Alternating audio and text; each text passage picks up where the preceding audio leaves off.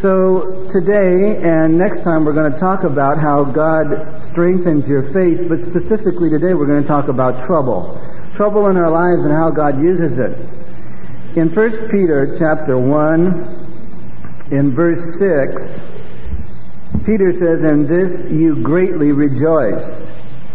Though now for a little while, if need be, you have been grieved by various trials or trouble and verse 7, he says that the genuineness of your faith, being much more precious than gold that perishes, though it be tested by fire, may be found to praise and honor and glory at the revelation of Jesus Christ, whom having not seen you love, though now you do not see him, yet believing you rejoice with joy inexpressible and full of glory receiving the end of your faith, the salvation of your soul.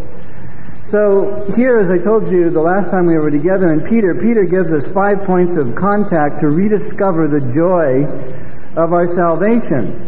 And it comes from a confidence in five things that he reveals to us in this passage. One is our inheritance. And we talked about that last time, that where you look in life is critical and what you anticipate in life is critical. Secondly, he deals with our trials and that our confidence in our trials to pr- help produce joy and deeper faith becomes a source of joy to us. And then our honor he talks about and our fellowship and our deliverance. All of that is in this passage. Now today I want to focus on simply the second thought, which is in verse 6, and that is our trials and how trouble contributes to our well-being as Christians. In verse 6 he says, In this you greatly rejoice. Here he is talking about a rejoicing that is above and beyond normal rejoicing related to circumstances in life. It is a spiritual rejoicing. He says, You greatly rejoice, though now for a little while, if need be, you have been grieved by various trials. I love to take a nice verse like that that God puts in the Bible. I'm always amazed at how much truth He can compact into such a short space. Here in this one verse, there are basically five things that Peter tells us about trouble. And I want to take you through those five things today. And I want to illustrate them with illustrations from real life. Perhaps in this sense, this study is more devotional than anything else, but I do pray it will be an encouragement to you. We're going to, we're going to spend time talking about how God tests our faith, and we'll go on and do that next time. For this time, we're talking about how we are tested by trouble, and I want to give you five things one at a time. But before I do that, Job 5 says that man is born to trouble as the sparks fly upward. I don't know if you've ever taken a hammer and hit iron or anything like that and watched the sparks fly up. But just as sparks fly upward, so man is born to trouble. There is not a one among you, myself included, all of us have had our fair share of trouble in this life. It starts very early, you know. I, even in my daughter Diana's life, at the age of two years, she had open heart surgery. She began her life with open heart surgery, in essence. About the time you're two, you begin to understand things and you're able to talk a little bit and run around. And she started her life with open heart surgery. Trouble. We're born to it. We all face it. We all go through it. So let me give you the first thought here that Peter introduces to us about trouble. And that is that trouble doesn't last. Trouble doesn't last. He says here that in this you greatly rejoice, though now for a little while, if need be, you have been grieved by various trials. Notice he says, now for a little while. One of the things that has become more and more important to me to realize in my life is that I go through a lot of trouble. And that as you grow as a Christian and you mature as a Christian, it is a great day when you finally realize you will always have trouble.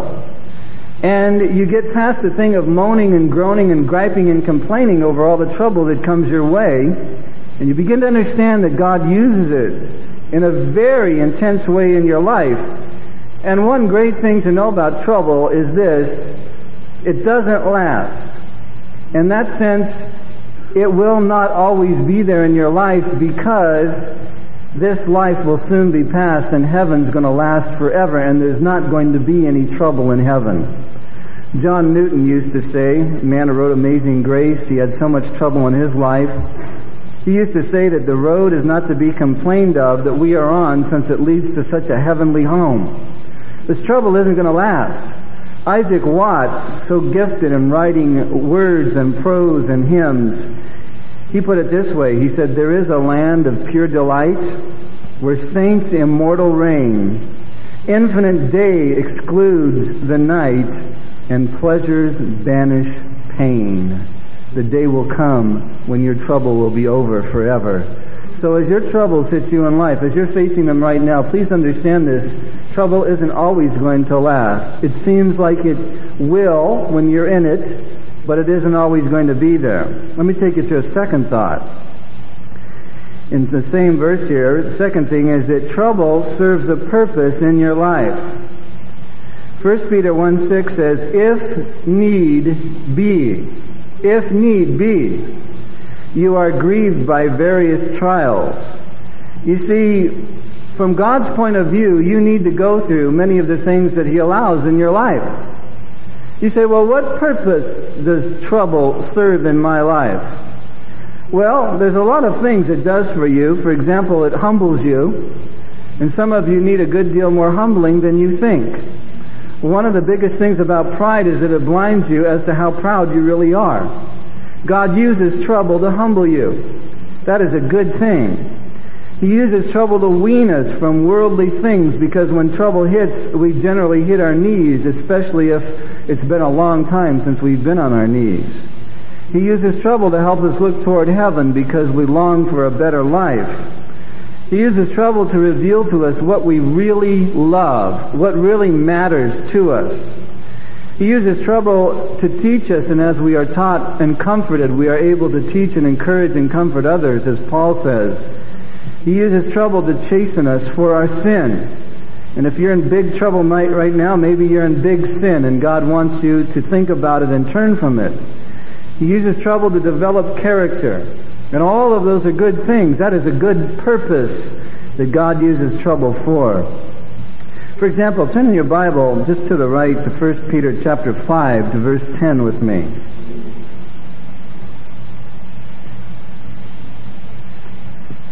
And here Peter says, But may the God of all grace, who called us to his eternal glory by Christ Jesus, after you have suffered a while, perfect and establish and notice, strengthen and settle you.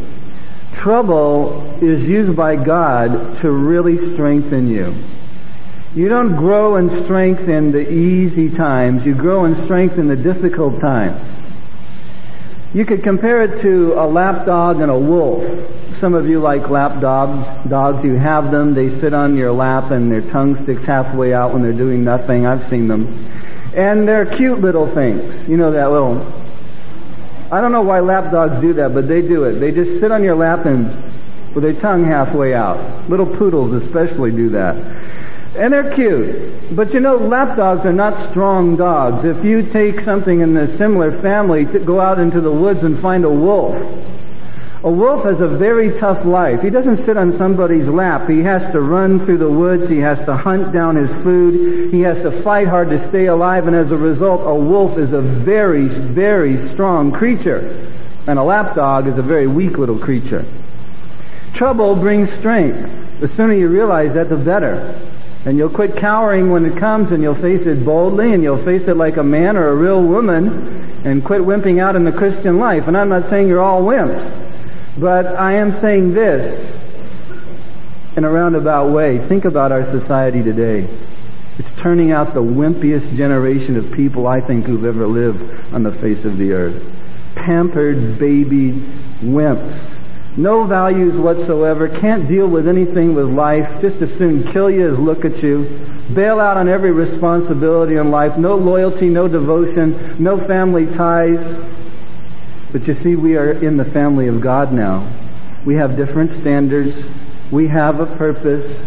And we are to be strengthened among all the wimpiness and mushiness of our society, we're to stand as those that have strength. And God uses trouble to bring strength in our life. It has a great purpose. So trouble isn't going to last. Trouble has a purpose. Let me take you to a third thought. Trouble brings pain. Trouble brings pain. In 1 Peter 1 6, he says, In this you greatly rejoice, though now for a little while, if need be, you have been noticed. What does it say? Grieved. That's pain. Trouble brings pain. That would include mental anguish.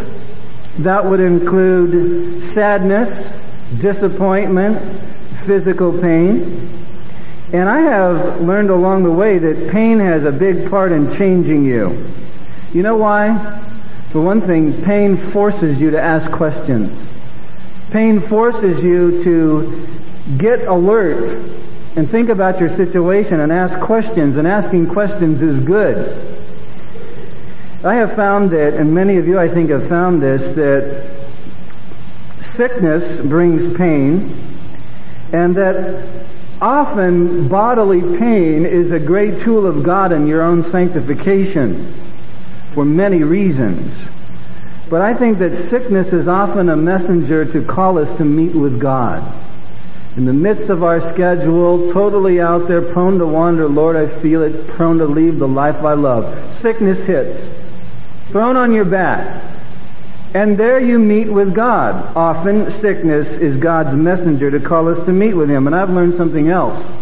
You know, I have a lot of commentaries in my library. Some of them I don't even know that I have there. I have a lot of them in there. And I love to read commentaries. I love to read what God has shown the great saints of the past. And I love to compare my own insights with those of men that are so anointed and greater giants than I will ever be. I love commentaries, but I've noticed something.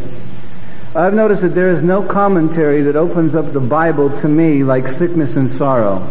And I think maybe you're finding that in your life to be true as well. There is no commentary that opens up the Bible to you like pain, sickness, and sorrow. Because it drives you to the scriptures where you're looking for answers, and in that mode and in that frame of mind and heart, you find them at the hand of God. C.S. Lewis used to say that God whispers to us in our pleasures, God speaks in our consciences, but God shouts in our pains. He used to say that pain is God's megaphone to rouse a deaf world. I like that. Not because I like pain, because I think, but because I think it's very insightful. And C.S. Lewis had his share of pain. You know, he lived out his life for most of his life as a bachelor. Finally, he met this woman named Joy, and they fell in love, and this was very late in his life. She brought, according even to her name, so much joy to his life.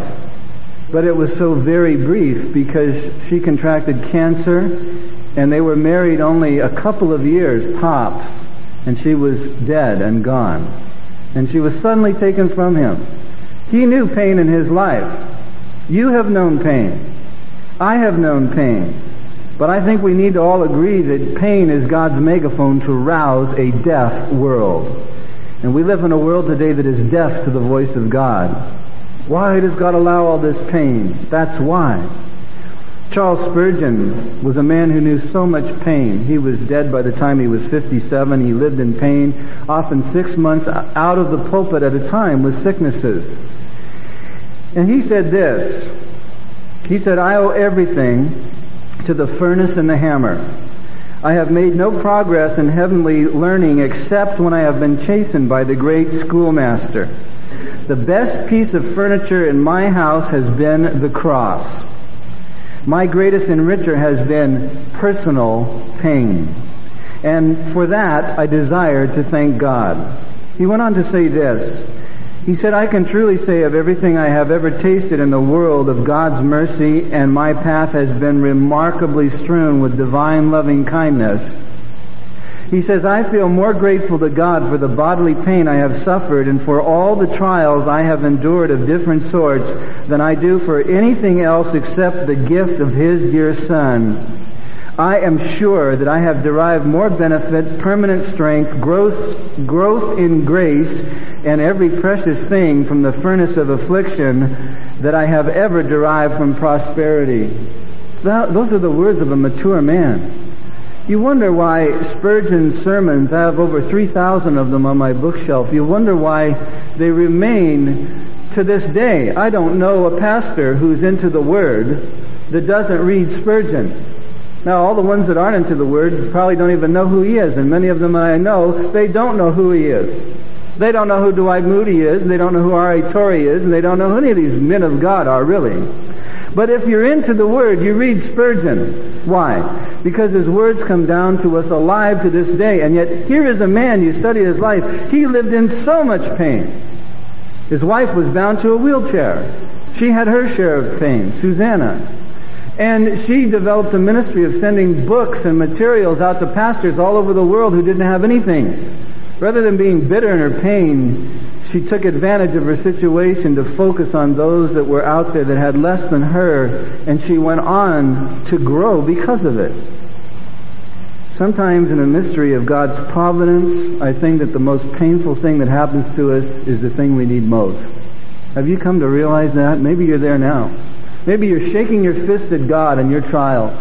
Maybe you're shouting why and even perhaps almost cursing God in your heart because you don't understand your pain. Let me say this to you. All you're manifesting is your own immaturity, your own ignorance of a God of love who is so much bigger than you ever dreamed him to be. That if you would open your eyes and be patient and let time tell all, you will look back to thank him for the painful things that have come your way, even if it's now the greatest thing that has ever hit you.